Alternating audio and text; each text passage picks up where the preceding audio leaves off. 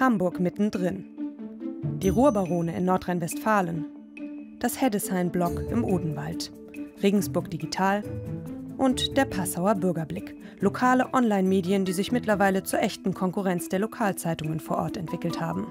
Wir äh, haben halt die Freiheit, äh, dass wir kein Blatt vor den Mund nehmen müssen. Ich habe keine Verleger bei mir, habe keine Chefs bei mir und kann frei Schnauze schreiben und äh, ja, was ich will und auch anprangern. Und das macht uns wahrscheinlich auch so gefährlich, weil wir nicht kontrollierbar sind. Stefan Eigner und Hubert Denk sind gefährlich für die lokalen Politiker, die Unternehmer und für die Tageszeitungen in ihren Städten. Es gibt äh, normale klassische Lokalzeitungen, die das gesamte Spektrum versuchen abzudecken thematisch, was in einer Region berichterstattenswert ist.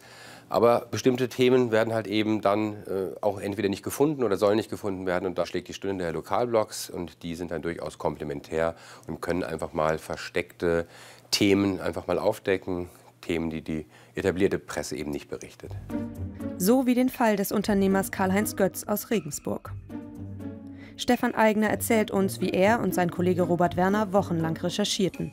Sie deckten auf, dass der Unternehmer seinen Doktortitel unter außergewöhnlichen Umständen an einer Universität in Spanien erworben hatte.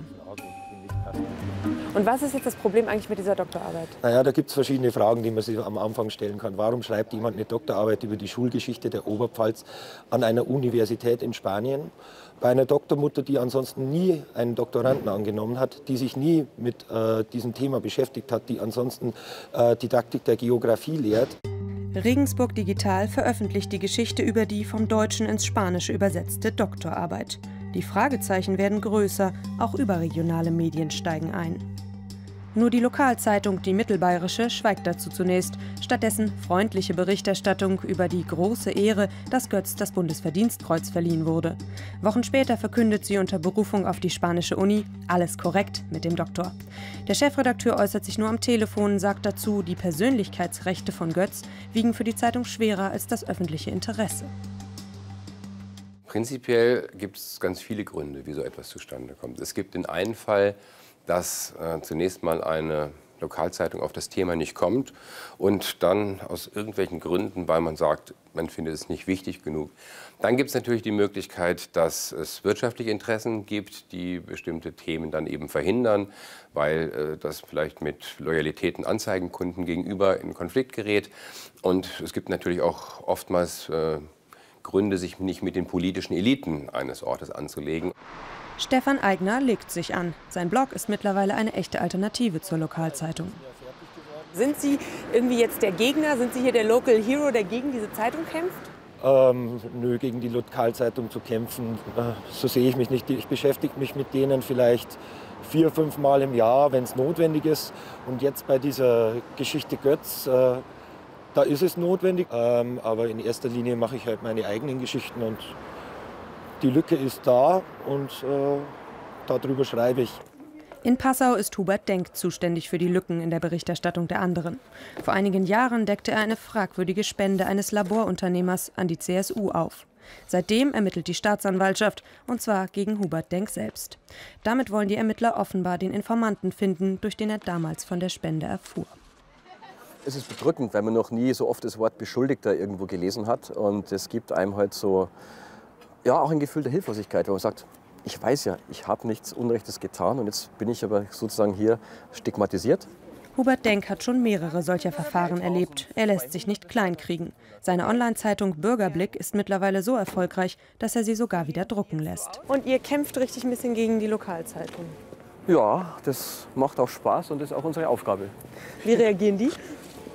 Ich finde es eigentlich cool, weil wir sind so ein kleines Kollektiv und bilden eine Gegenstimme und das belebt eigentlich die ganze Zeitungslandschaft. Hubert Denk kann vom Journalismus leben. Er verteilt sein Heft an verschiedenen Verkaufsstellen in Passau, eigenhändig. Auflage knapp 2500. 2,50 Euro kostet ein Bürgerblick. Der ist natürlich mittlerweile nach all den Jahren, in denen er erscheint, ein etabliertes Medium, äh, ist wahrscheinlich von der Auflagenhöhe weit entfernt von der Lokalzeitung, aber er hat eine feste Klientel, die das gerne aufnimmt.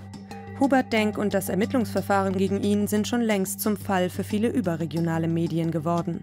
Die Lokalzeitung vor Ort berichtet allerdings nicht darüber.